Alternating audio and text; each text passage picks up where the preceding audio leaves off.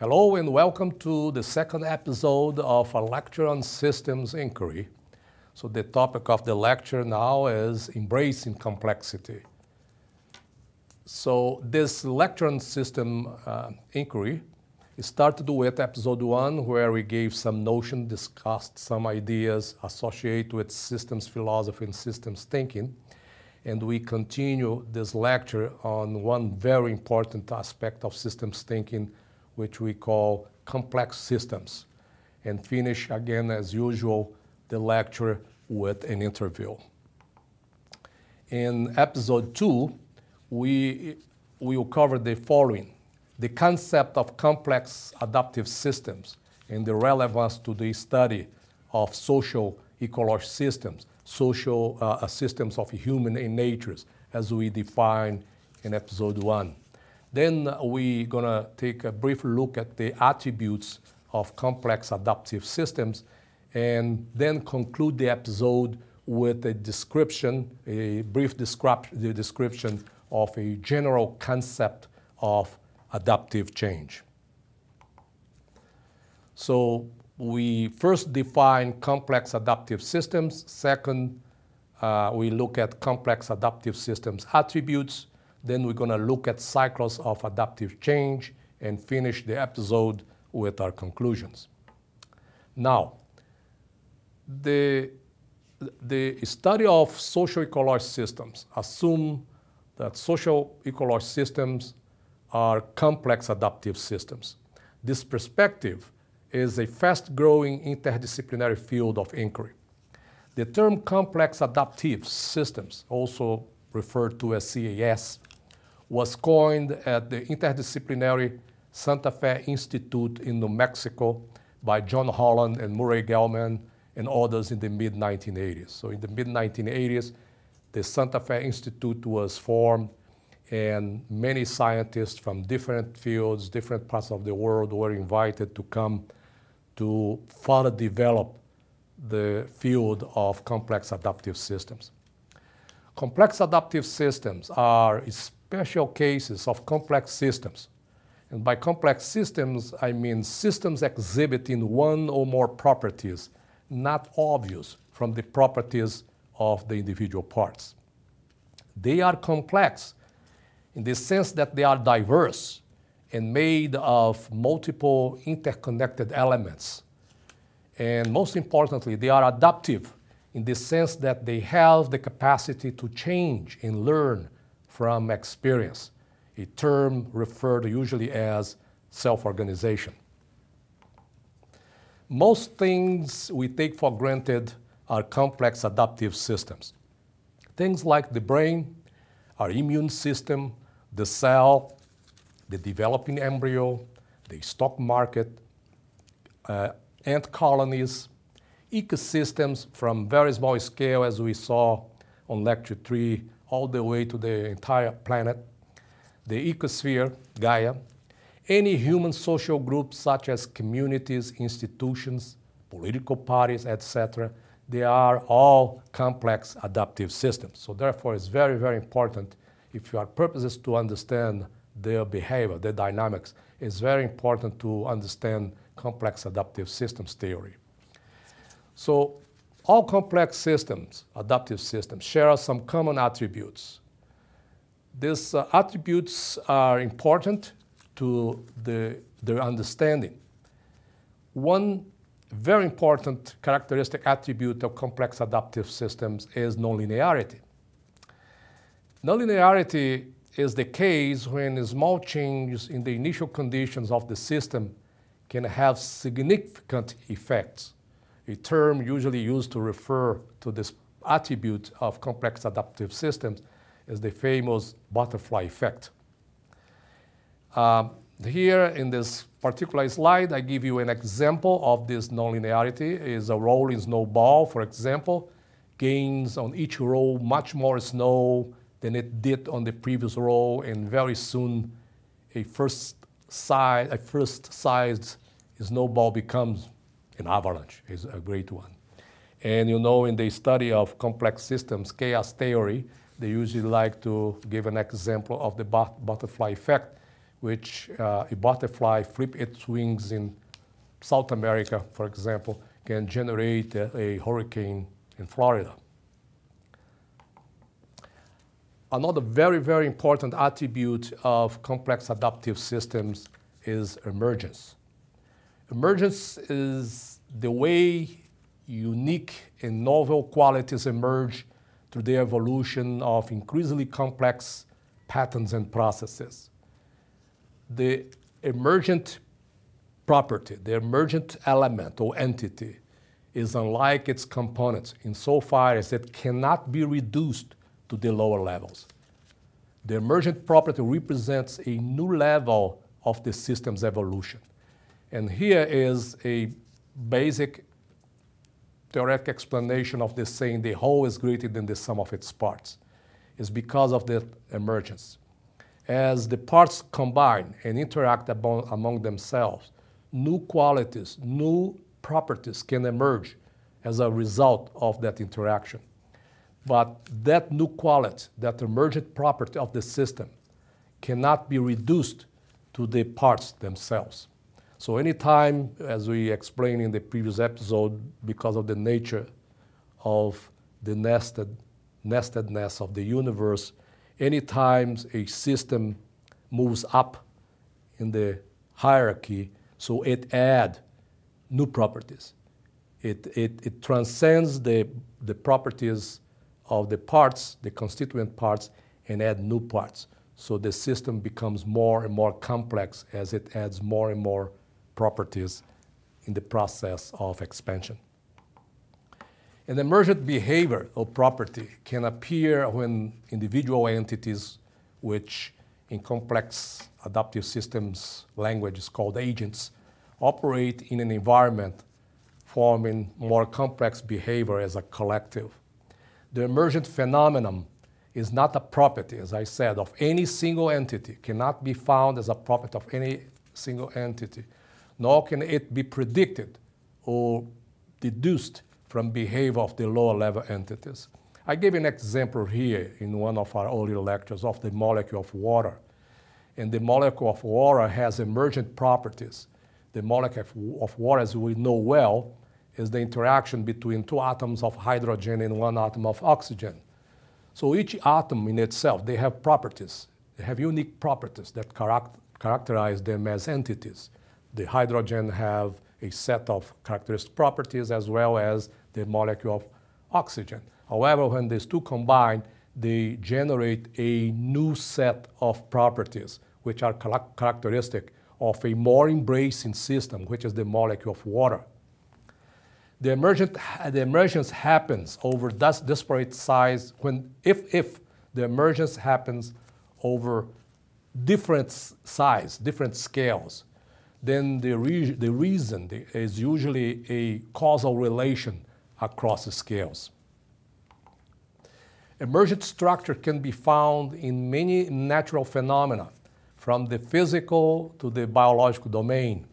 The shape of weather patterns such as hurricanes, for example, are emerg emergent structures. Termite hills, for example, the wondrous pieces of architecture with mazes of interconnecting passages, larger caverns, and ventilation tunnels are also examples of emergent structures. Another uh, important attribute of complex adaptive systems is self-organization. Self-organization is a process where some form of global order or coordination arises out of the local interactions between the components of a system. This process is spontaneous. It is not directed or controlled by any agent or subsystem inside or outside the system. According to systems philosophy, the entire universe is a self-organizing complex structure. So that meaning that all the characteristics and, and growth and evolution is not controlled, it's not necessarily controlled by one agent or entity, even inside or outside the system. However, the laws followed by process and its in, by the process and its initial condition may have been chosen or caused by an agent. This has a very, very important uh, application in civic ecology in our process of working with communities. I mentioned here in the first lecture and in, during our interview that when we interview, intervene in a community as a facilitator, most of the time we want to create conditions from which we expect that through a process of self-organization, some new properties or phenomena will emerge. So our role is more in kind of trying to influence, although we, can, we don't necessarily know what are the consequences of that intervention, but we try to create those conditions that may or may not, through a process of self-organization, create a new condition, a new state. It is often uh, the process of self-organization, it is often triggered by random fluctuations that are amplified by, as we mentioned uh, in the last episode, feedback mechanism, positive feedback mechanism. And whatever is a, a phenomenon is amplified within the systems concept, it always amplified by a positive feedback mechanism. The result organization is wholly decentralized or over all the component, all, or over all the components of the system. As such, it is typically very robust and able to survive and self-repair substantial damage or perturbations. Another important attribute of uh, complex adaptive systems is coevolution. All systems exist within their own environment, and they are also continuously interacting with that environment. As the environment changes due to external uh, condition, for example, they need to change, the organism, the systems within the system need to change in order to ensure best fit. But because they are part of the environment, when they change, they change the environment again. And as it has changed, they need to change again. And so it goes on a, as a continuous process. So the entities that made up the parts of a system change when the entities change because they interact with the organism, they force the organism to change. And as the organism change, the entities change again. So this is why I mean by coevolution. Uh, I kind of think of it as like a cosmic dance in which the, the pairs try to adapt to the movements of the other. One important attribute of complex adaptive system is what we call requisite variety. The greater the variety, diversity within the system, the stronger it is. And we mentioned this here when we look at uh, the concept of ecological uh, integrity and look at uh, resilience as one of the attributes of ecological integrity. And we mentioned at that time that diversity was a stronger component of a system's integrity or a system's resilience. Ambiguity and paradox abound in complex adaptive systems. We also mentioned this here when we look at the concept of resilience this, uh, they use contradiction, contradictions to create new possibilities to co-evolve with the environment. Uh, one example that comes to my mind here is democracy. Uh, the strength of democracy is derived from its tolerance and even insistence in having variety of political perspectives. Connectivity, another important attribute of complex adaptive systems, is related to the way in which the agents in a system connect and relate to one another is critical to the survival of the system. Patterns are formed and feedback disseminate from these connections. The relationship between the agents are generally more important than the agent themselves. You can think here, you know, for example, of a football, football team. So uh, usually when a team is not uh, doing well, one of the first uh, uh, ideas is to buy new players, to bring in new players, and uh, spend a lot of money to get the best possible players. But remember, the success of the team, eh, although depends uh, on the quality of the player, is not necessarily related to the player itself, but in the way that the player will connect to the other uh, players and uh, therefore uh, improve the general performance of the team. Uh, next, we move here to the last part of this episode uh, to discuss a model of complex adaptive change. This model we call the adaptive cycle. And this model was originally conceptualized and proposed by American uh, ecologist Crawford Stanley Holling. This model uh, is very, very useful to help us interpret the dynamics of coupled human and natural system, or as we called in the beginning of this lecture, social uh, ecological systems in response to disturbances and change.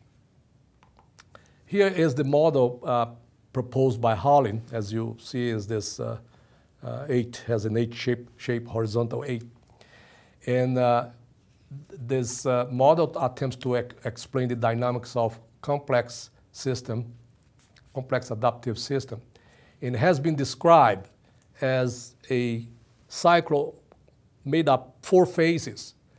And it, it is explained as moving slowly from what they call uh, the exploitation phase, which is the R phase, moving slowly to uh, what is called the conservation or, or K phase, then maintaining or collapsing to a third phase, omega phase, or the release phase, continue so that from the movement in the back loop from alpha, from omega to alpha, from the, from the release to the reorganizing, uh, to, the, um, to the organizing phase is very fast as opposed to the front loop from the exploitation to conservation, which is very slow. So it moves very fast. So what he's trying to say here is that all complex adapt adaptive systems, as we, as we mentioned here, all living systems are complex adaptive systems.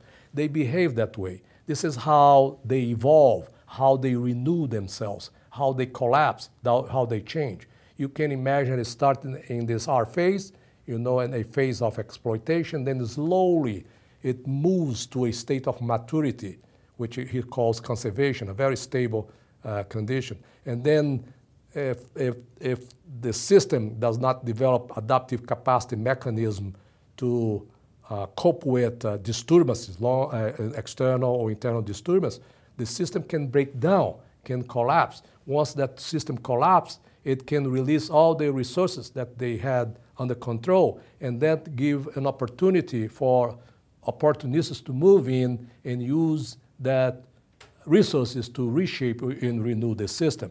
A good example of this four, these four phases can be given through, for example, a spruce fir, fir, fir forest.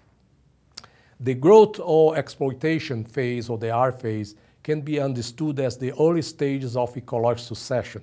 So the, the community start developing. Then uh, throughout, in a very slow process uh, throughout time, they move to what is called the conservation or accumulation phase, the K phase, what is by ecologists called the climax community. At that point, we have a mature forest. That forest control all the resources by protecting, you know, by high, uh, uh, covering the surface with its canopy. It minimizes the penetration of light to other uh, plant species that are on the ground and therefore take the opportunity, remove the opportunity from, for, their, for them to, to grow and compete. However, this system, although uh, tightly coupled and have full control of the resources, this system can collapse due to things, for example, a forest fire, fire or a pest outbreak. In the presence of a forest fire, most of the resources that were held in the trees are released into the soils. And as those resources are released into the soils, so we move to a new phase, a phase of reorganization or renewal, in which soil processes make nutrients available to new plant species that will uh, uh, compete and promote a renewal of the forest. I want you to notice in the figure there that there is a little tail moving out of the cycle. And I want to tell you what, what that means. That means a loss of resources. This cycle is more or less happening within a given context, but a loss of resources can be detrimental to the system and cause the impoverishment of that system. In the case of this forest here, that loss of resource could be exemplified by a torrential rain following immediately uh, a fire. During the fire, as I mentioned uh, before, all the resources are uh, released into the ashes, into the, the soil, to be available to uh, new competitors. However, with the occurrence of a rainfall, all that those nutrients can be removed from the area through the process of runoff, and that means a loss of resources to that system. As you can see in the cycle uh, presented by Holling to describe adaptive change, the two main dimensions that determine the change in an adaptive cycle are connectedness and potential. This is very important.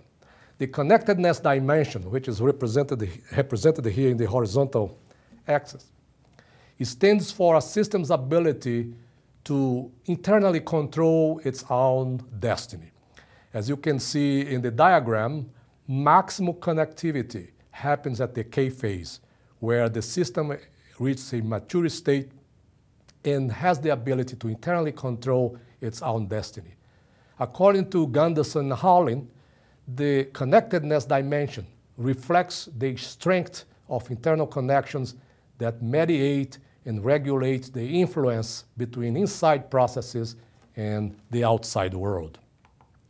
The other important dimension, which is represented in the vertical axis, is the potential dimension. The potential dimension stands for the inherent potential of a system that is available for change.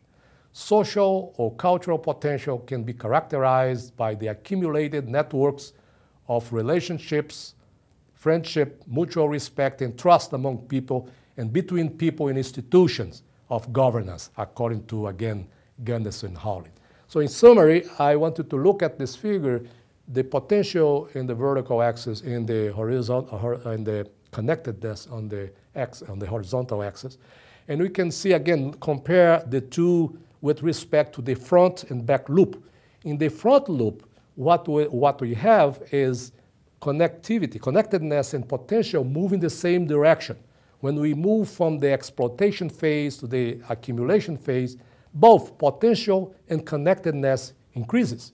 So at the K phase, the system has great connectedness and at the same time, great potential for change. When we look at the back loop, they go in different directions.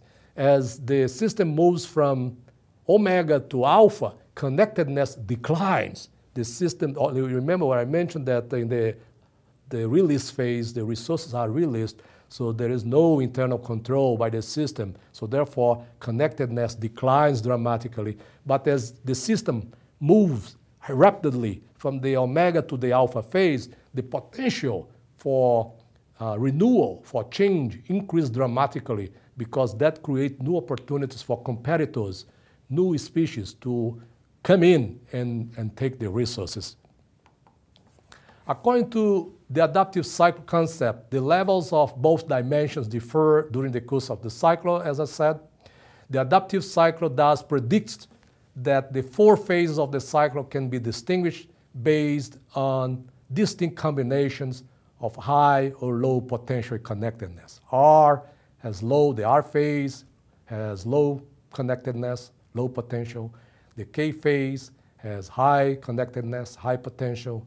Omega phase has high connectedness, but low potential. And the alpha phase represents low connectedness and high potential.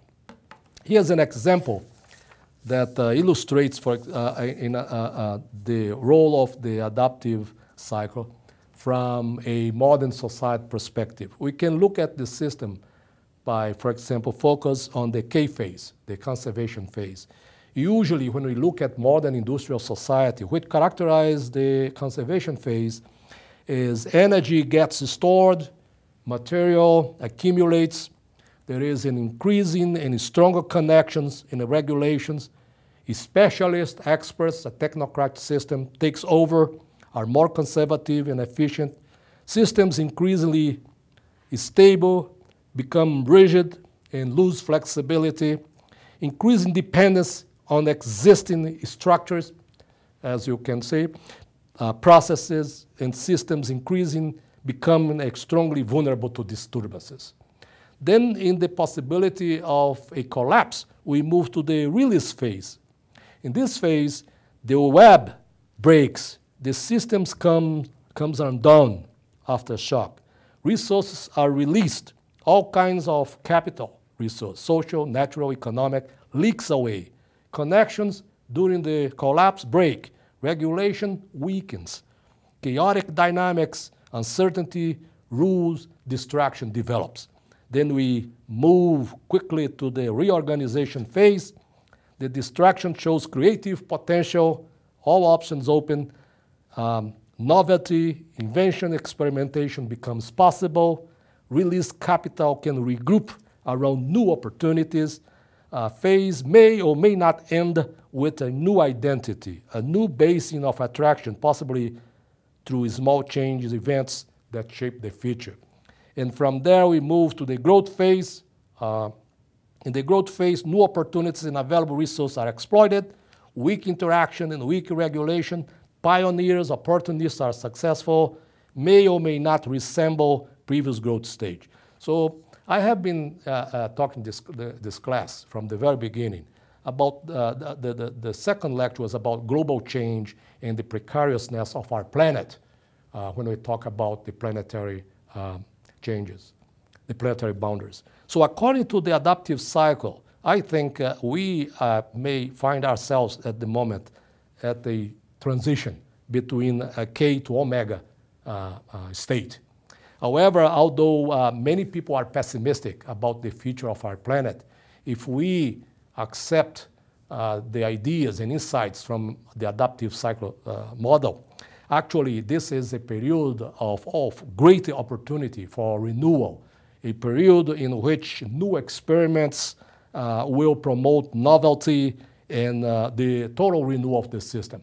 So some uh, from a pessimistic uh, possibility uh, may see the state in which we find uh, ourselves at the moment in, the, in, a global scale as a final stage, a, a stage of destruction which is not consistent with the, the, the reorganization phase of the adaptive cycle. So what we need, in my impression, is that we open up to change, we embrace them, instead of trying to control and avoid them motivated by fear or tendency to be attached to all the structures. If we open ourselves to change and allow ourselves to go through the cycle, to this process, so we can renew our earth, we can reconnect our communities again. And this is one of the purposes of civic ecology, although operating on a small but significant scale, in my view. The adaptive cycles, as a, as a context built within the view of systems thinking, is nested. Adaptive cycles are nested in a hierarchy across time and space with uh, integrated overlapping cycles of revolt and remember. This is important to understand. So by remember, I mean, uh, we, we can think of a system that is uh, cycling to this four phase at a certain scale, a certain level. But uh, that system, as discussed in the previous episode, is always nested within a larger system, which itself has a smaller system nested within it. One a good example that I can find within my own work is in dealing with river basin systems, also called watersheds or catchment. You can see a, a river basin or watershed is an area drained by a river system, by a drainage system. And that river system or that drainage area, which can be the focus of study, is embedded within a larger geographic system, which is the region which, which that uh, basin is in, embedded on, on, the other hand, that basin itself is formed by small tributaries of the main stream, which themselves are small bases, basins. So the revolt, uh, a good uh, example I can think of to clarify the concepts of re revolt in Remember is look at this uh, uh political system, for example. a disturbance, for example, a social disturbance can happen at, at a community at a certain level. And uh, if the, the nested system is very uh, uh, rigid, not very flexible, um, like uh, not very democratic, for example, that disturbance that is initiated at a low level can propagate all the way up, can cascade all the way up to a process that uh, and Gunderson call revolt. And that, that disturbance that can happen, for example, as illustrated in the figure in the omega uh, phase, can cascade up all the way to cause the collapse and disturbance of the system at a large scale, at the state level, for example, or at the country level at the K phase. On the other hand, if it, this is a healthy system in which is, is uh, diverse, uh, is flexible, the system will have the opportunity to influence the disturbance that is happening at a lower level, which is illustrated by the remember just uh, going back to that lower level and, in a, in a sense, reminding them what it works and what's right. In this figure here, it's important to note also that smaller and faster levels, like uh, the lower level system, invent, usually they are fast, they invent, they experiment and test. Large and low, lower levels provide the memory of the past to allow recovery. So again, I was asked here during the interview when we had the first lecture on civic ecology, what was the relevance of a small community approach to global planetary change? This uh, panarchy theory would help us to would help me to answer that question, because most of the novelty, most of the the experiments and, and the, the, the renewal of system actually operates at a faster, lower level. So communities, therefore, have a great deal, great importance in the renewal of the entire global society. From this perspective, another thing important to know is that no system can be understood or managed by focusing on a single scale because of the nestedness of the systems it's important that in any study, the, you, the, the researcher should at least consider three scales. The focal scale, the scale of uh, interest, and the scale immediately above it, and the scale immediately below it. In civic ecology, again, for us, the focal scale is always a watershed. And then the scale above that is the region in which that watershed is embedded. And scales below that are the communities of humans, plants, and animals that compose that watershed or ecosystem. In conclusion, I'll just to remind one more time that we live in a complex, dynamic world where everything, according to systems thinking, is connected to everything else. We need better approaches to study, understand, and manage complexity, which from my perspective uh, uh, systems thinking and complex adaptive systems offer uh, a great opportunity to understand and to better manage this complexity. Complex adaptive systems theory, therefore, offers a powerful new approach to address complex social ecological problems. Central to this approach is the idea that society and the environment in, which that society is embedded in, in that sustain us, cannot be treated in isolation from each other as in traditional disciplinary, academic disciplinary approaches. By understanding the broader context in which the challenges lie, we are able to identify sustainable solutions that in turn will lead to improved social ecological health and sustainability. And finally, for your own self-study, I would like to ask you three questions. Question number one, what does the shape and behavior of a flock of birds have in common with a school of fish and a swarm of bees? Secondly, what uh, complex adaptive system attributes contribute to far from equilibrium states, unpredictability, and unforeseen sudden changes or surprises in social ecological systems? And third, what does Panarchy, the model developed by uh, Holling and his collaborators we just discussed, the nested cycles of adaptive change, can tell us about the future of modern industrial societies. Here I have a list of uh, important work uh, uh, references that you can read to deepen your understanding of systems thinking and complex, uh, complex adaptive systems theory. The first two references by Berkes and his collaborators deals with issues associated to the notion introduced in this lecture of social ecological systems. The paper by Gunderson and Holling is a, a must paper if you want to understand the dynamics of coupled human and natural systems. Kauffman provides further insight into self-organization and evolution in complex systems.